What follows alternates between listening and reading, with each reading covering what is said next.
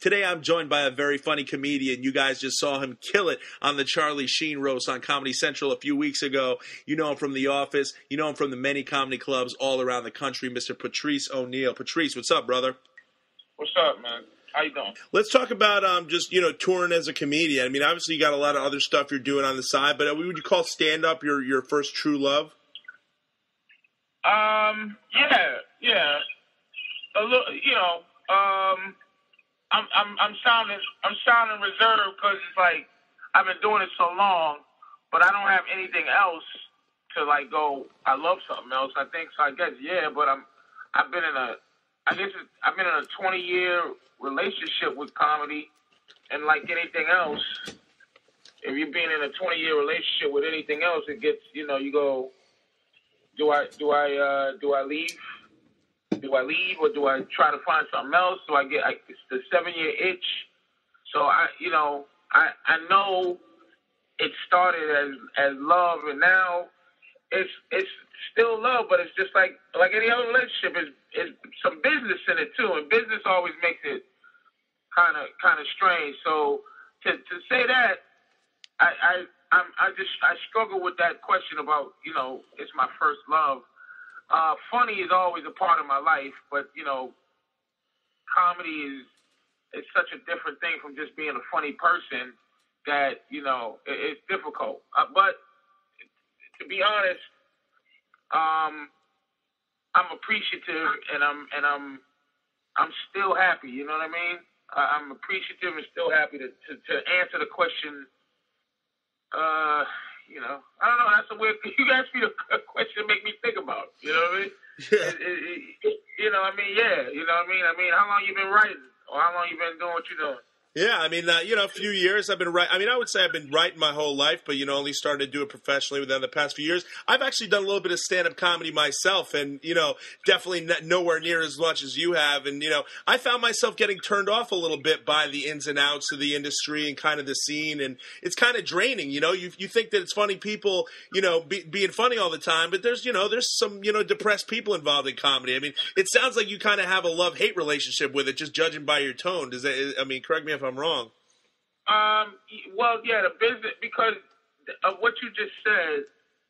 It's it's the business, the business part of it, the people part. Like, look, they always like people want to do documentaries and stuff. They always want to do something and make comics. They always go, oh wow, it's gonna be great because comics are involved. I remember a show I did. I was introduced to me about.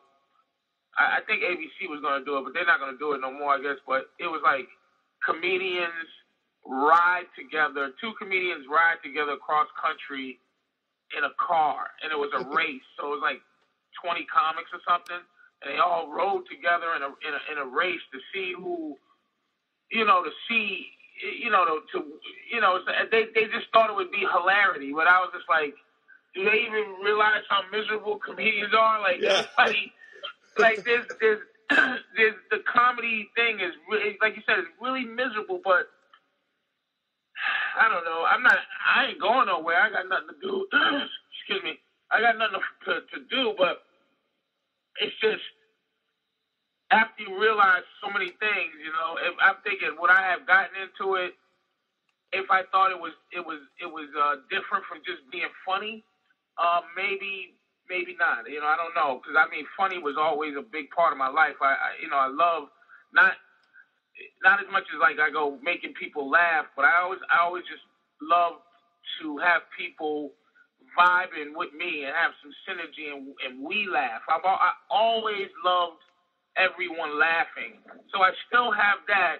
That's why I love like my fans, like you know my fans that know me and get me and they get everything that I do. They know they that appreciate my funniness, and then I don't appreciate as much the people who only, you know, see me because I'm like, they think I'm a comedian. Like they go, okay, be funny, make me laugh, as opposed to we're, we're making each other laugh. This is an us thing.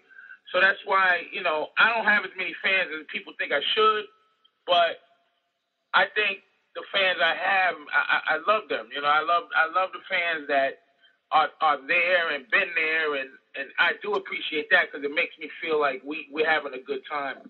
Um, but there's a lot of fans that are that are just takers. They'll they'll suck you dry and then they'll move on to the next whatever the thing is.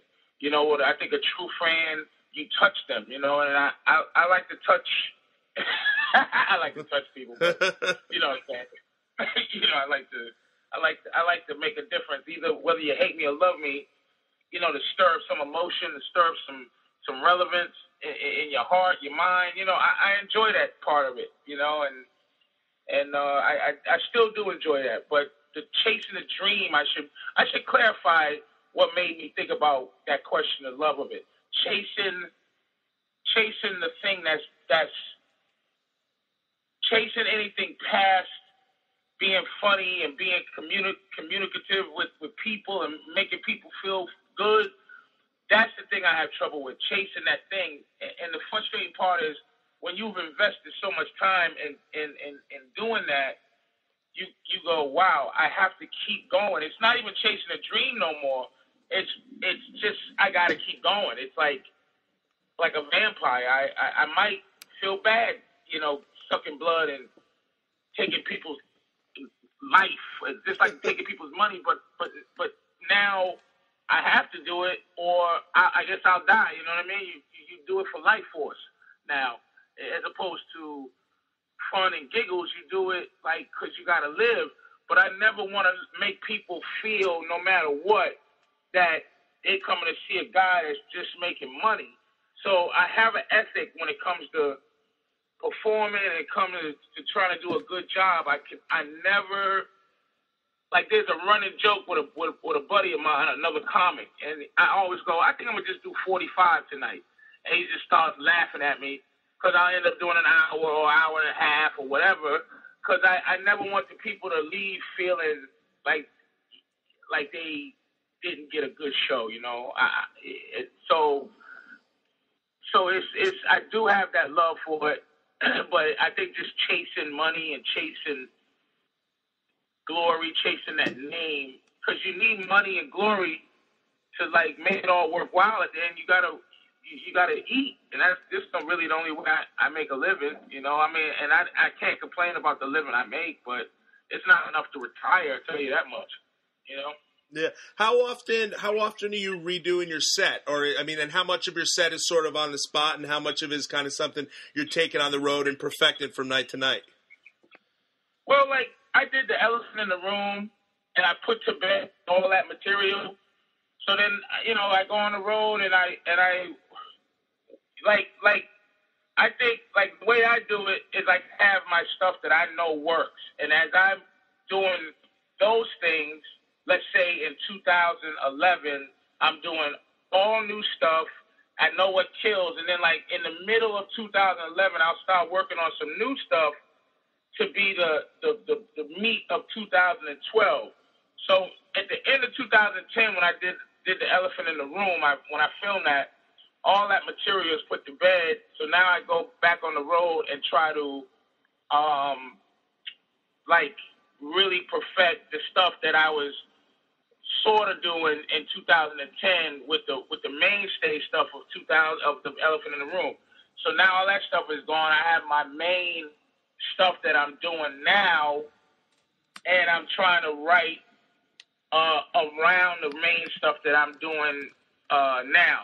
So, so to be able to like go off the cuff, you got to definitely you, you have to have a synergy with the crowd, and they got to love you. But then at the same time, you have the the um, structure of your of your act that helps that helps people uh, you know, that helps you go off to the to the left. Like so, it it's like having a a, a, navigation, a GPS, and it's a it's it's a place where you generally know where you're going, and you take a left or a right. You don't have to be that worried getting back on the road. But if you don't know where you're going, you you know you got to rely on the GPS, meaning you got to rely on just going off the cuff or just being funny, you can end up in a bad place if you got nowhere else to go because you can take a wrong turn, and you got to be able to have your professionalism and your and your preparedness and material to to get you back on the road. You know what I mean? So I love doing crowd work, but I like doing crowd work, you know, because I think people are interested. I, I've gotten a lot of material from from audiences, meaning I've gotten I've gotten like a, a response that I didn't think I was gonna get, and you and you really embrace that response. Like you you don't go in into it with the selfishness of of already having a bit that you worked on. You just like if you ask somebody where they're from, you should really want to know where they're from. So you know you never know what they're gonna say. They might say pogo pogo. You go well, holy shit. so that's that's a whole conversation about pogo pogo, man. And you you can go there or you can go somewhere else, man, because people, you know, people, it's us. We're, we're, you know, we it's an us thing. That's what this comedy is. It's an us thing, and I think the frustrating part is sometimes you you you you feel like it's just a you and a them, and you don't want to feel like that. You know what I mean? But but most of the time, depending on where I am, you know, if I'm in if I'm in Minnesota, you kind of feel like it's a it's a me and a you, you know. But when I'm on the East Coast, up and down the East Coast, and and up and down the West Coast, you feel like it's a me and a, a you know some cities you go to, you feel like it it's your town and they and they're your people, and you know you know, you love them, they love you. You know.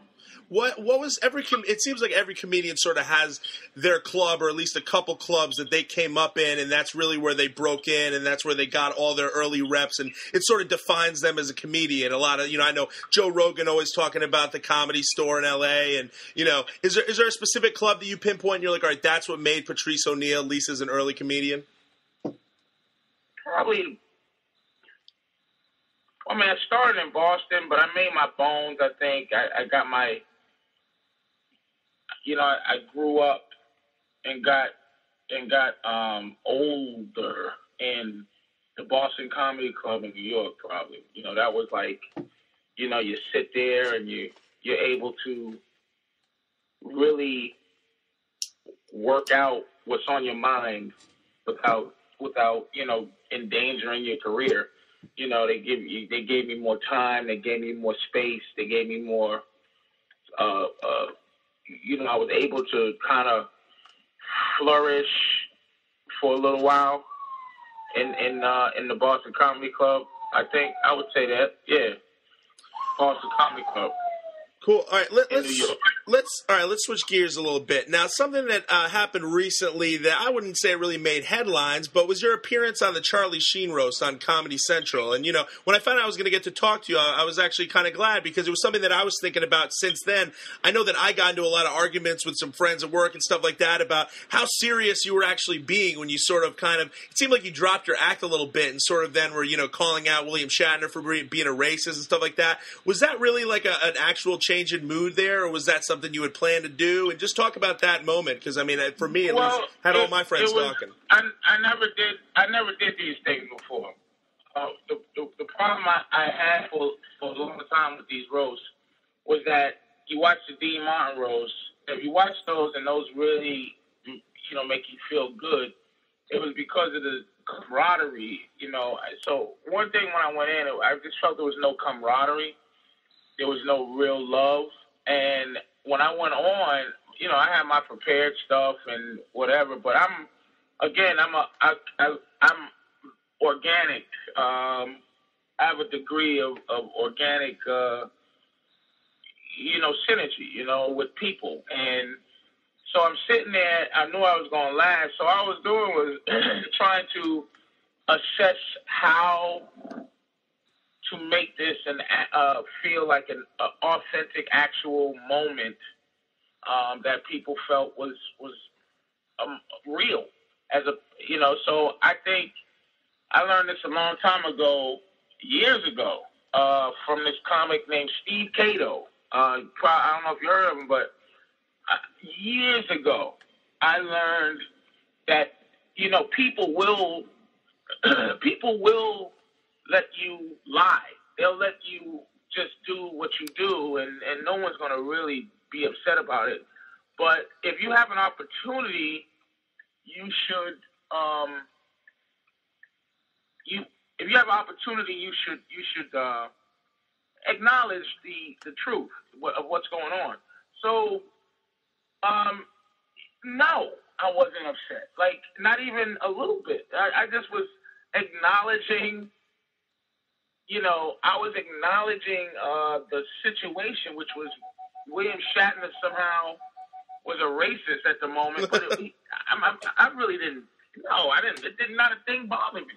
I come from a rough, um, a rough crew. You know, we were, we we're rough with each other with honesty and love. We we roasted each other every night. You know, the guys that I that I would roll with. You know, we we roll. You know, you know Giraldo and he used to roll. We would we roll with us, you know, me and Colin Quinn and Nick DiPaolo and Keith Robinson and and, and Robert Kelly and Jim Norton, um, you know, and all the guys that used to hang out at the Comedy Cellar at night. We we we were mean to each other, but it was all kind of love mean. So you, you know, no nobody could nobody who sits and prepares and writes jokes for uh, for a month can hurt my feelings. They can, I mean, there's nothing really to say. I mean, they they can, you know, they they can basically they're just they're just writing what they Google or what what's on Wikipedia, and they just say their jokes. And no, it's just there's no hurt. I actually appreciated William Shatner because he gave me a a beginning to. I mean, it was it was heavily edited. Don't forget that too. Oh yeah. But he gave he gave me a uh, a beginning. He gave me somewhere to go. Like sometimes when you do a comedy show, you you need a a place to start. Like you know, you don't want to just start by saying knock knock who's there to the audience. You just you kind of need a place to go. Hey guys, what's happening? You know, what's what's on my mind? What's the feel? You know, and he gave me a place to to go because I, I thought you know, I love Jeff Ross, but um, William Shatner's style lent itself greatly to what I wanted to do, which was to to have an organic feel, like like what I was saying earlier about going off script. I had the jokes prepared, you know, so it but it lent me it lent me the the base to be able to just to to, to say something different other than my prepared jokes. I, I, I was there to be funny and, and and you know, I'm not at my best um, reciting a joke, you know what I mean? And, and I'm not saying this with any uh, detriment or any, you know, I'm not begrudging anybody's style. That's this is you know, what we do is like the circus, you know, it's like, you know, the trapeze guy, the lion tamer, everybody got a different flow, but we all in the circus. So I, am saying my style is, is, I was happy to be able to make you and your friend argue. That's my style.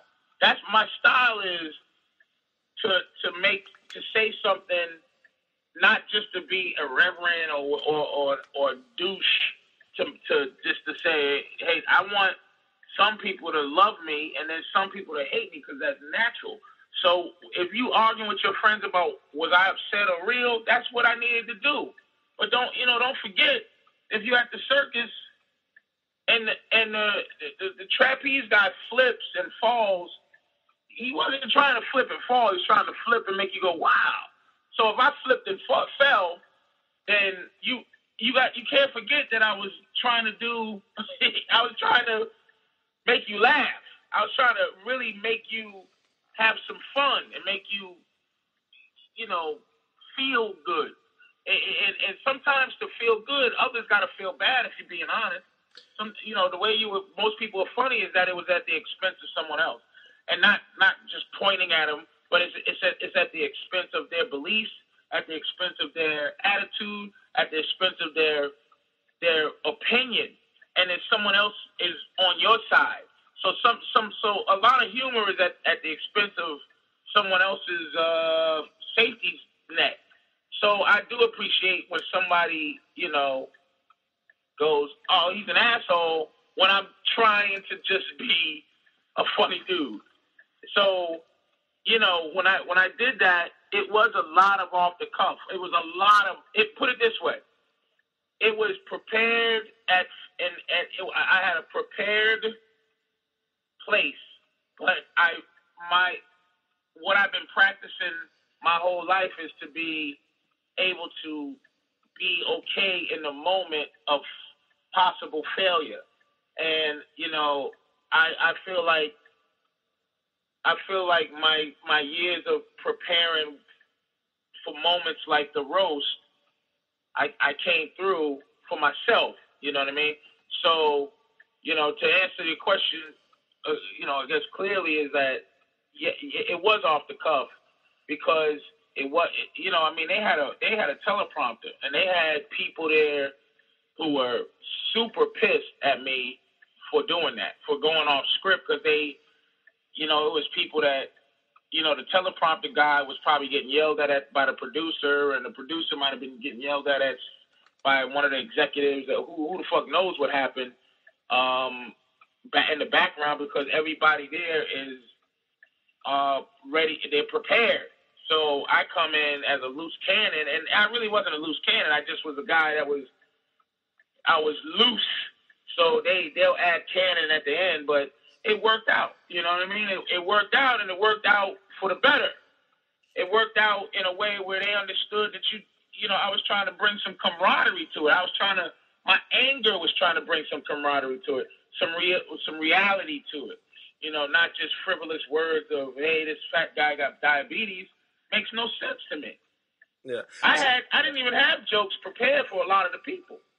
You know, I, I really see. I, appre- I appreciated it because I was watching that roast, and I mean, sort of like what you were saying before about comedy. You know, being all about making people laugh, but then it becomes more about a business. I mean, those first couple roasts, like I remember there was a Shaq roast, like I don't know, maybe like eight years ago now, that was fantastic, and it sort of you felt like you said the camaraderie between Jamie Foxx and Shaq, and like everyone wanted to be there. But I feel like Comedy Central sort of turned that into a business model, and now we're recreating these things. We're roasting people like Charlie Sheen, who let's be honest, really just wanted to be on TV and have everyone everyone worship him for a couple more hours. So I'm watching this thing that felt like this robotic drone of people like Jeff Ross who are legitimately funny going out there and kind of, you know, just, you know, throwing rocks at a wall at Mike Tyson and, and Charlie Sheen, these celebrities who really you can't make fun of because they've become a caricature of themselves. And then it felt, it felt like you were watching it with the same eyes I was, thinking, what the fuck is this? This isn't a roast. And then you come up there and, you know, whether you, you, you kind of like, you know, had in the back of your mind that you were going to do it or not, I, I could see in your eyes that you were kind of caught off guard by what you were witnessing, and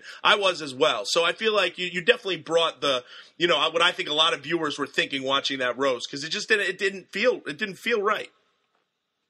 Well, you, you you're talking from somebody who you know has a utopian uh, view of the roast, which is they're supposed to be super, just a bunch of people you know, that love each other and they're teasing each other and it's and it's it's just a good time and it's wink wink. It's it's like people are watching um people are watching like some inside stuff that they go, Wow, these guys, man, I would love to hang out with these guys.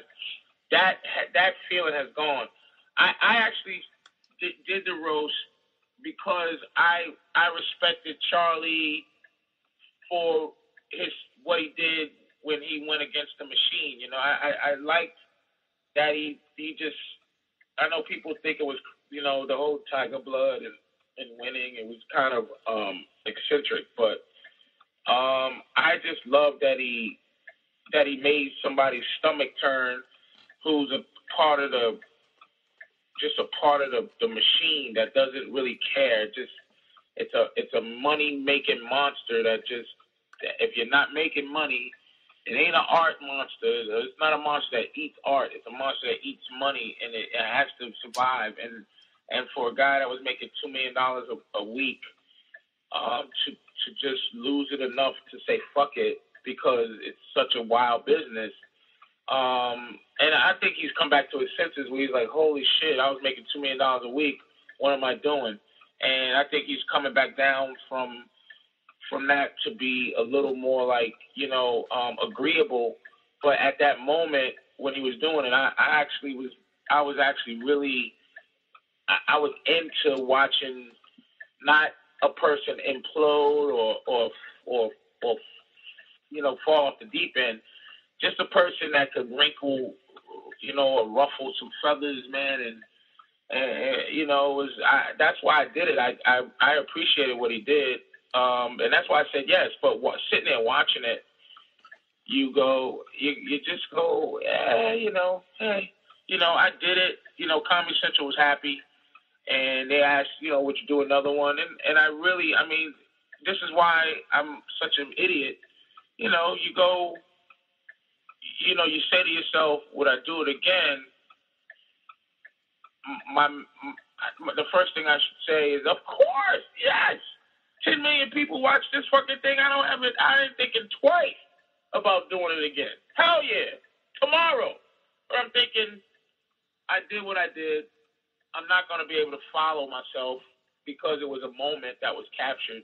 So now it's like, well, Patrice, re- recreate that moment. Go up last and have Patrice do his thingy majiggy.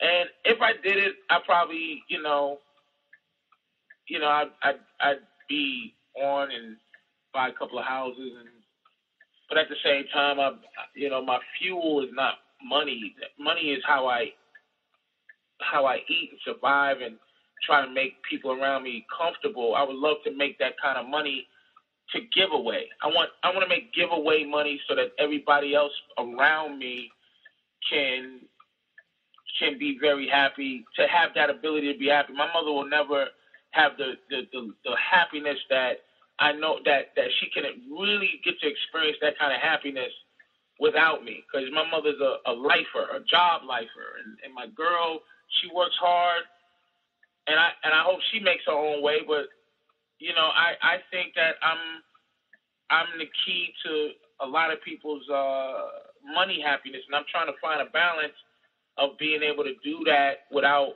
killing myself, and where they can have some fun too. You know, I sent my mother home. I was at at Foxwoods Casino, and um, you know, I, I I sent my mother home in a in a you know in one of the little uh, Lincoln Town cars.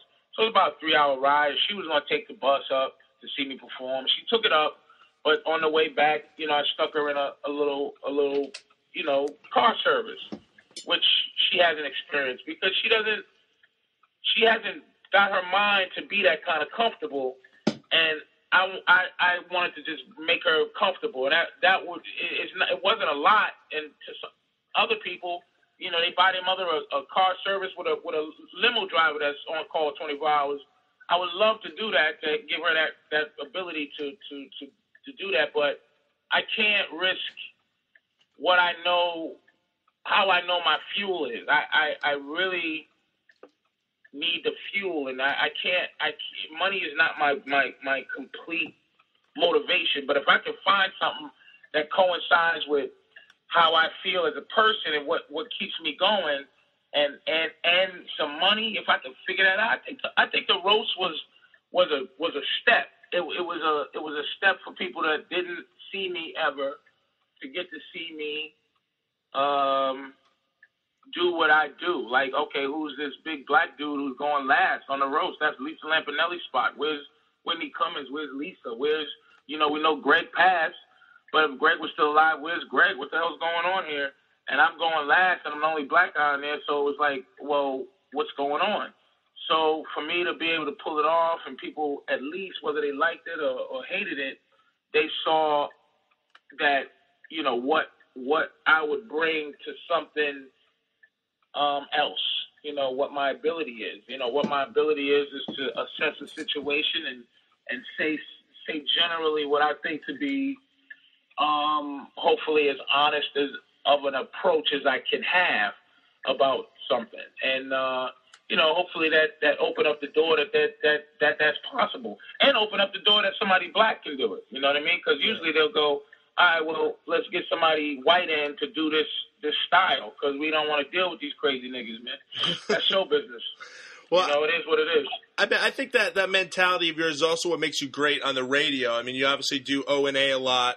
Um, I actually I have this vivid memory once of driving home from work like so early that O and A was on in the morning, and I'm driving home on the Merritt Parkway, hearing you go on a rant about the Merritt Parkway and about driving on how it's just a dark two lane highway in the middle of the night and a deer will jump out at you, whatever. I have a vivid memory of that, and uh, I mean just just talk about doing O and A and like what that does for you as a comic to just keep your brain going and doing such conversational stuff. Which I mean, like you said, I mean that's when you come up with some of your stuff is just sitting around talking to other funny people, and I feel like that to me is more of the quote unquote old roast type of uh, you know uh, environment that we used to love that sort of has faded away. You still get when you're on the radio with those guys. So talk about O and A a little bit. Yeah, they they um, you don't some you, I don't you know sometimes you don't realize or you forget what someone does in terms of um, of uh, what's what's the word? Mentoring you you know prepare, preparing you uh, you know to, you know getting you prepared and mentoring you in terms of of of um,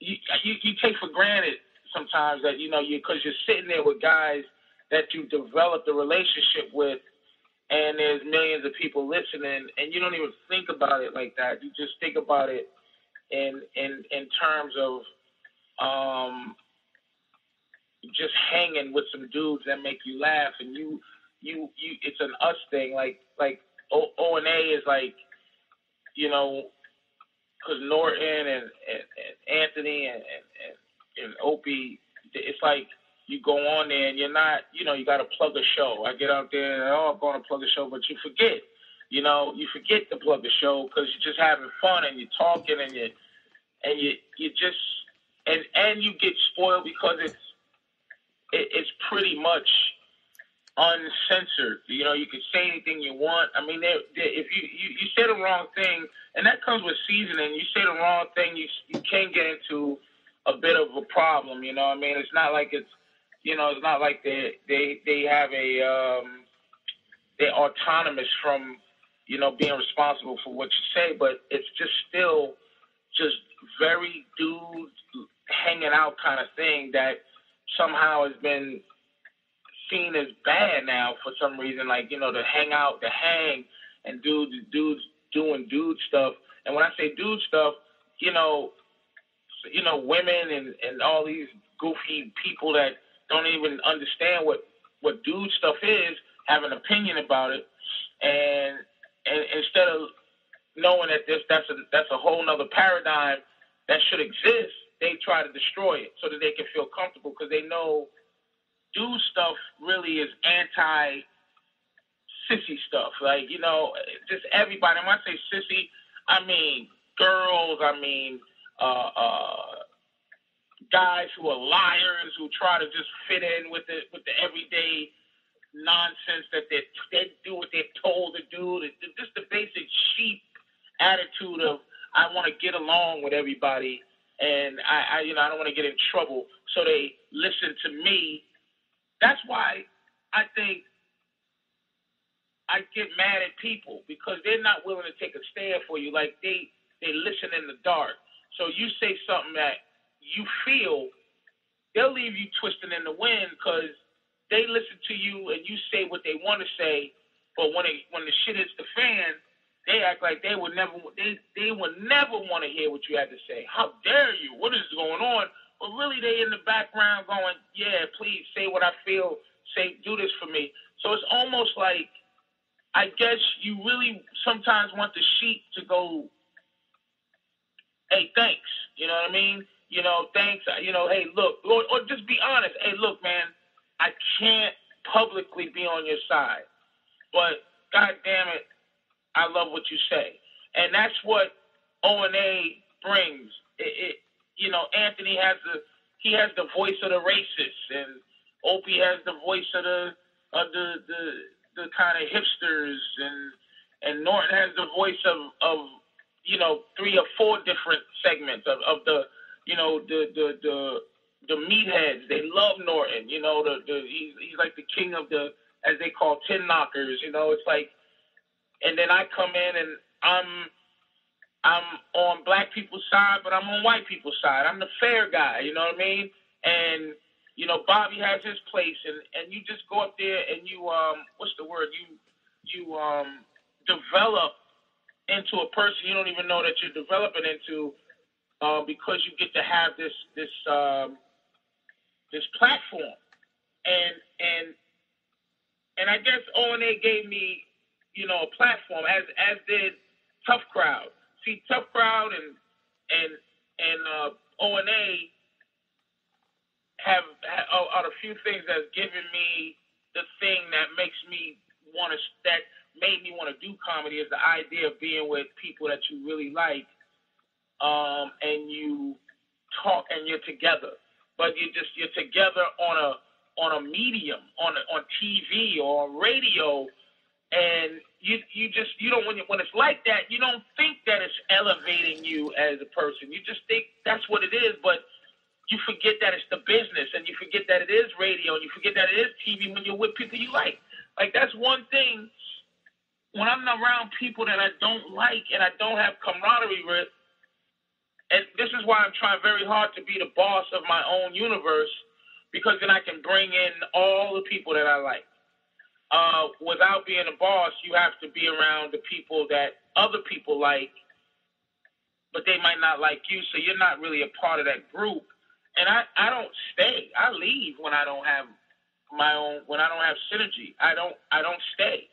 And I, I mean I've been around O and A gotta be since 2002, 2003. That's eight years, nine years, and and that nine years went by like like like boom.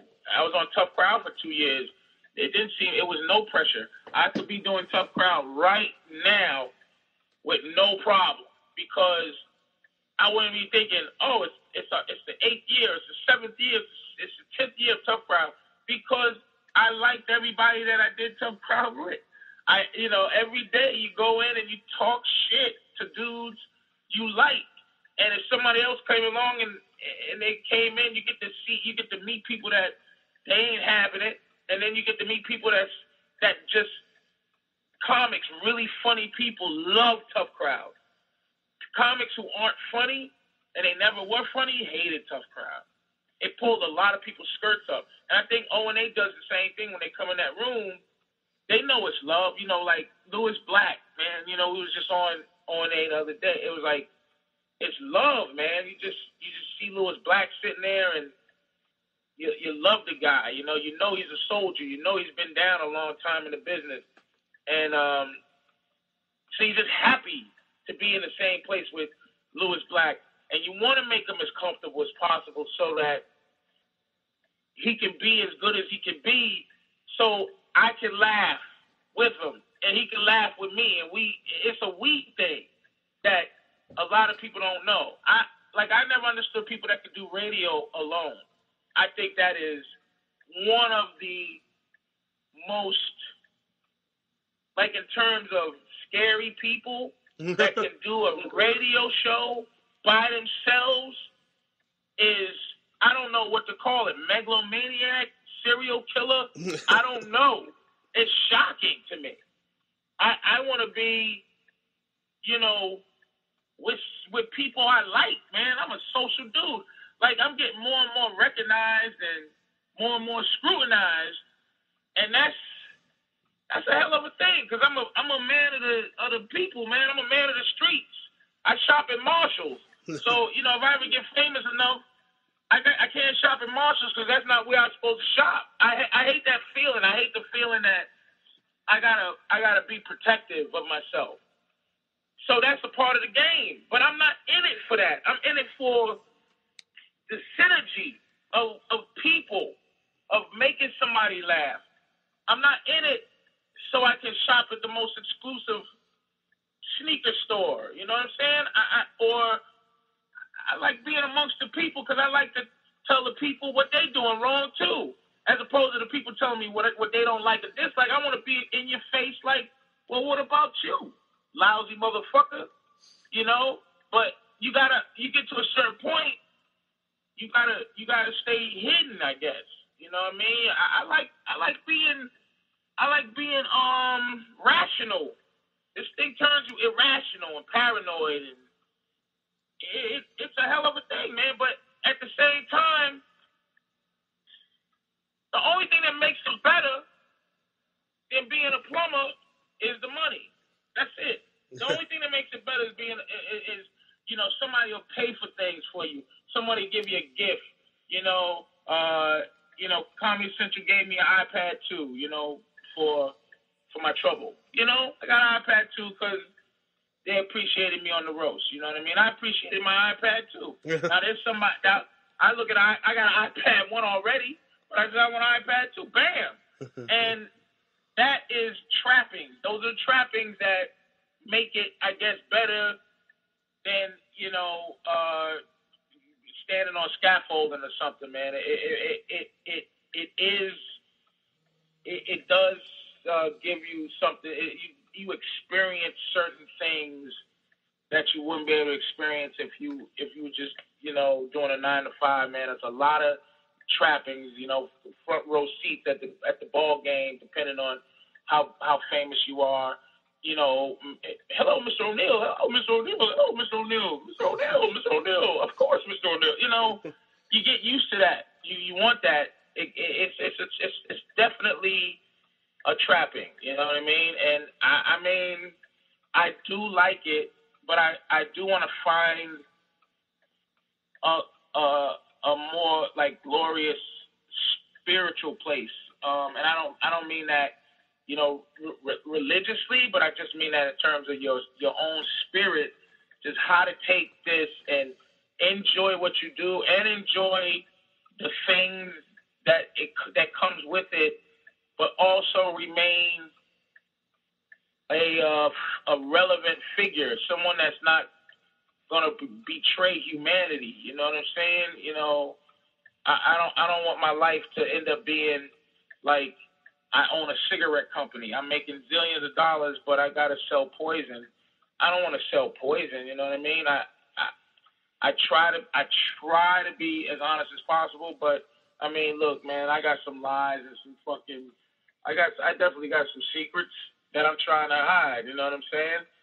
And somebody will find them motherfuckers out, and I got to deal with it. And they'll call me a hypocrite, but you know, eh, there's there's a there's a percentage to everything, and you can be a hundred percent hypocrite, you can be a fifty percent one, or you could be a a ten percent hypocrite. You know, it's, it's it's you know nothing nothing is uh is absolute or or complete. So I'm I'm just trying to be uh, a decent human being, a decent one, because this business, the less decent you are, the more successful you are.